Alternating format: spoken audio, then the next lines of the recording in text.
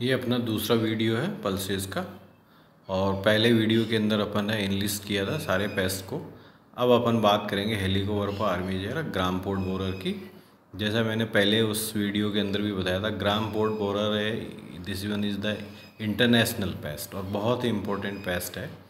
ये ग्राम पे फ़ीड करता है तो इसको अपन ग्राम पोर्ट बोरर बोलते हैं। टोमेटो पे फ़ीड करता है, ये टोमेटो फ्रूट बोरर बोलते हैं। कॉटन पे ये फ़ीड करता है तो कॉटन बोल बोल वॉर्म या अमेरिकन बोल वॉर्म बोलते हैं।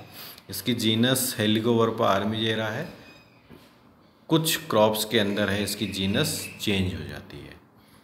ये कहाँ कहाँ पाया जाता है? ग्राम पोर्ट बोरर और gram caterpillar. Is cosmopolitan and and is widely distributed in India, लगभग पूरे भारत के अंदर है ये पाया जाता है। और भारत के अंदर ही नहीं, पूरे विश्व के अंदर ये पाया जाता है। ये ये मेज़ की फ़सल को भी नुकसान पहुंचाता है और उसके अलावा सारे जो पल्सेज हैं, उनको अपन ने देखा ही है, पढ़ा ही है, लिस्ट के अंदर इनको भी ये नुकसान पहुंचाता है।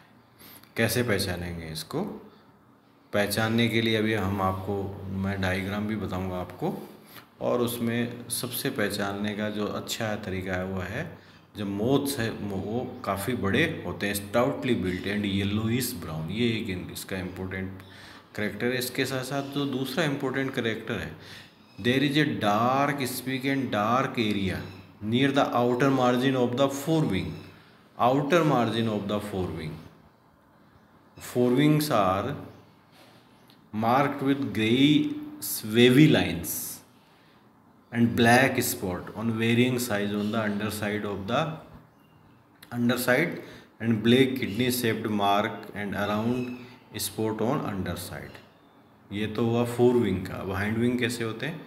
The hind wings are whitish and lighter in colour with broad blackish band and outer margin ये हुआ एडल्ट के बारे में। अभी मैं आपको डायग्राम भी बताऊँगा इसका।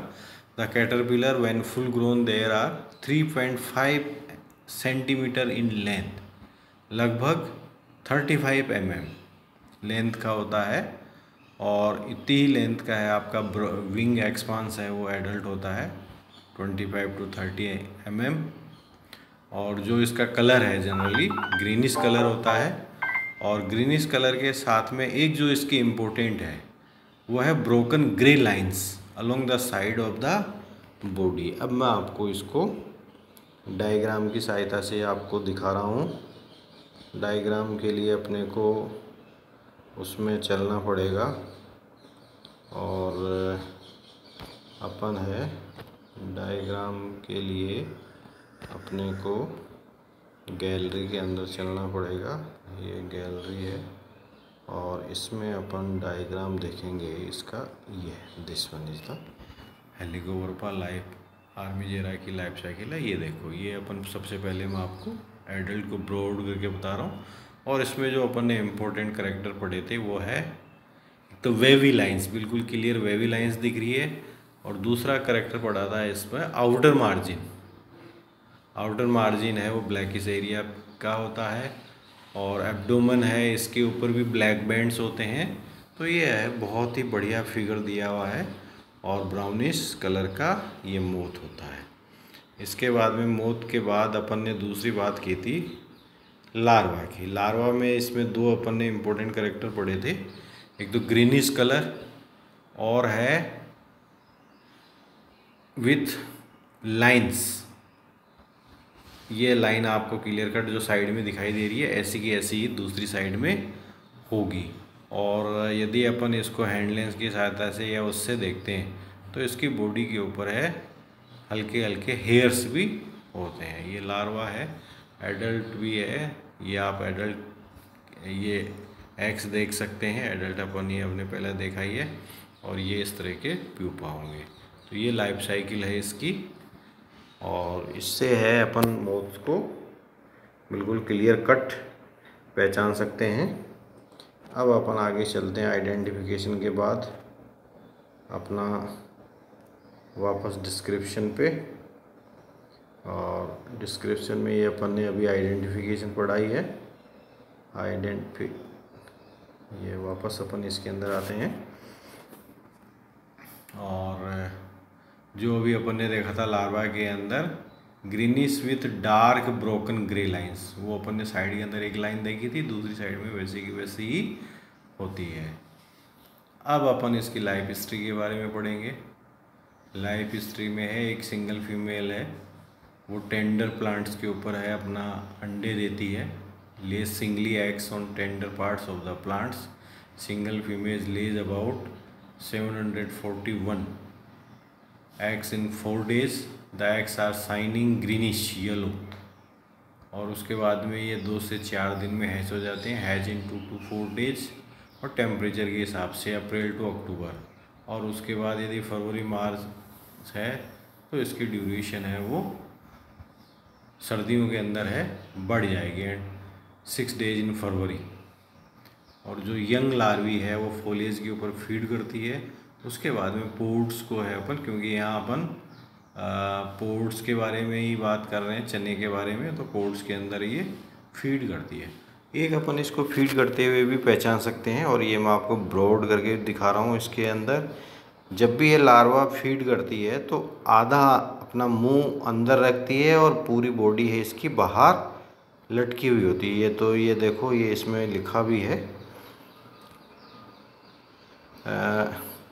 October 6 days when the young larvae feed on foliage, sometime later bore into the pods and feed on developing grains with their hanging body outside और कोई लार्वा है जनरली अपनी बॉडी को है बाहर लटकाए हुए नहीं रहती जबकि इसकी बॉडी है बाहर लटकती रहती है। तो ये एक लार्वा को भी पहचानने का एक और इम्पोर्टेंट करेक्टर है इसका body hanging outside they move from pod to pod and full fed thirteen to nineteen days यानी जो लार्वल पीरियड है, वो थर्टीन टू नाइनटीन डेज़ का होता है। बाइटिंग एंड सीविंग टाइप के इसके माउथ पार्ट्स होते हैं।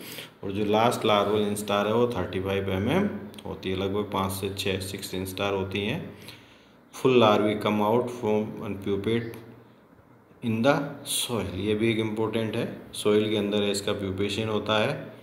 And The pupil lasts for 8 to 15 days, but winter duration is prolonged, particularly in northern India. Some pupa remains in facultative diapause during November to April. There may be eight overlapping generations in a year. लगभग पूरे आ, साल जैसे south India है उसमें लगभग पूरे साल में पाई जाती है नॉर्थ इंडिया के अंदर है ये थोड़ा सर्दियों के अंदर है दो तीन महीने डाइबाज अवस्था में चली जाती है। बाकी की है, ये पूरे साल भर नुकसान पहुंचाती है।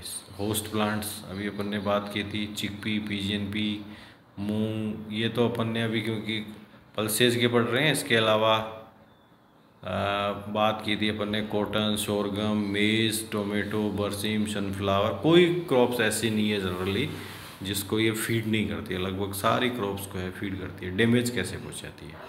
डेमेज अभी अपन ने पहली बात की थी कि केवल लार्वल स्टेज इसकी डेमेज पहुंचाती है और ये स्टेम को फ़ीड करती है फ्रूट को फ़ीड करती है मेनली फ्रूट को फ़ीड करती है। Although preferred food plants like gram and red gram the larvae are polyphagous they feed on foliage initially stage के ऊपर फोलिएज के ऊपर फ़ीड करती है और उसके बाद में ये सीड को खाती है। जो अभी अपन ने, मैंने उसमें पहले में बताया था, जैसे यहाँ अपन ग्राम की बात कर रहे हैं तो पोड होंगे। तो पोड को फ़ीड करती है, टोमेटो के अंदर है, टोमेटो को नुकसान पहुँचाती है, कॉटन के अंदर बोल्स को नुकसान पहुँचाती है। तो जनरली ये जो फ्रूट है, उस पार्ट को ये नुकसान पहुंचाती है। Seeds and later stage and yield is reduced. और जो सिंगल लार्वा है वो लगभग तीस से चालीस पोड इसको खा जाता है। काफ़ी इम्पोर्टेंट बेस्ट है ये। मैनेजमेंट टाइमली इसका मैनेजमेंट नहीं करते हैं तो काफ़ी नुकसान पहुंचाती है। सबसे पहले तो है, अपन रेजिस्टेंस वेराइटीज़ ग्रो करेंगे और टॉलरेंट क्रॉप्स को ग्रो करेंगे। इसके बाद जो थर्ड है वो है mix inter cropping with non preferred host plant like barley wheat linseed extra ये भी एक इम्पोर्टेंट टैक्टिस है मिक्स इंटरक्रॉपिंग की। फिर इसके बाद में अपने को हाथ से दिख जाती है। यदि इनिशियल स्टेज पे अपने को दिखती है तो अपन इसको हैंड पिक भी करते हैं। Hand picking during early hours helpful to these are less susceptible और टू अर्ली स्टेज फिर उसके बाद में एक बहुत और अच्छा इम्पोर्टेंट इसका कंट्रोल मेजर्स है, वो है N P V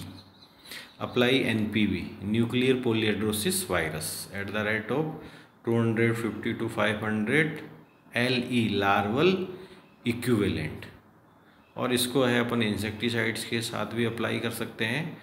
और ये जो एन है, ये अपने फार्मर्स लेवल पे भी अपन तैयार कर सकते हैं। वो अपन प्रैक्टिकल एक्सरसाइज के अंदर पढ़ेंगे। और काफ़ी सस्ता, काफ़ी चीपर और काफ़ी अफेक्टिव भी है।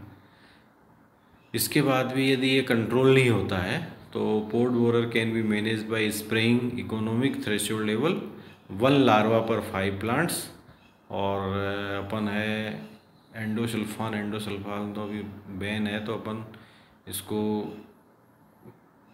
क्यूनाल फोस इसकी जगह अपन क्यूनाल फोस काम में ले सकते हैं क्यूनाल फोस और इसके अलावा कोई भी जो सिंथेटिक पैराथ्राइड्स है साइपर मेथ्रिन ट्वेंटी फाइव ई सी या deltamethrin two point five E C या फिर है फेनरोलेट क्योंकि अपने को एक स्प्रे से काम नहीं चलता है दो तीन स्प्रे की ज़रूरत है अल्टरनेट स्प्रे करने पड़ते हैं। तो अपन रिपीट करेंगे तो एक के बाद दूसरा अपन रिपीट करेंगे। अपन मेलाथियन डस्ट भी इस पर अप्लाई कर सकते हैं इनिशियली स्टेज के ऊपर। तो इस तरह से अपन है इसको कंट्रोल कर सकते हैं।